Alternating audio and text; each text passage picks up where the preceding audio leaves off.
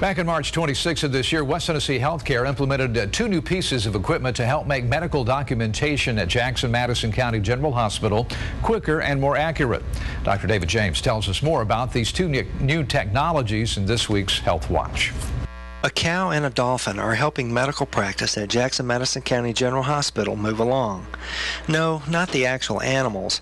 Rather, cow and dolphin are the names of the two new state of the art pieces of technology being used that are allowing documentation of important medical information to be done quicker and more efficiently. COW is um, just a computer on wheels that the nurses are able to push around the nursing unit to do their documentation. They're basically used mostly for um, admission histories and assessments. The computer on wheels allows important pieces of documentation to be mobile for nurses so it can be accessed quickly. The computer also offers a safe and reliable place to store the vital information. The Dolphin, on the other hand, is used when patients are given medication to make sure nurses administer the correct amount. They take the scanner, they scan their barcode, their name badge, which pulls in their name information.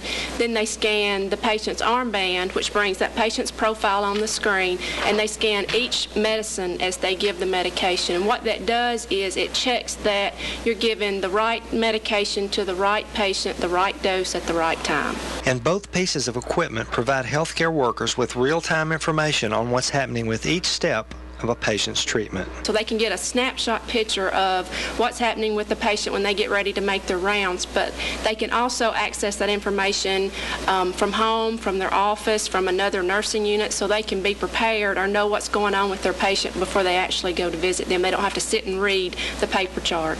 As healthcare providers get more comfortable with the new technology, it will also allow for treatments to be faster in addition to being more accurate and efficient. The equipment is also becoming so helpful that now other departments in the hospital outside of nursing are relying on the new technology. For this week's Health Watch, I'm Dr. David James.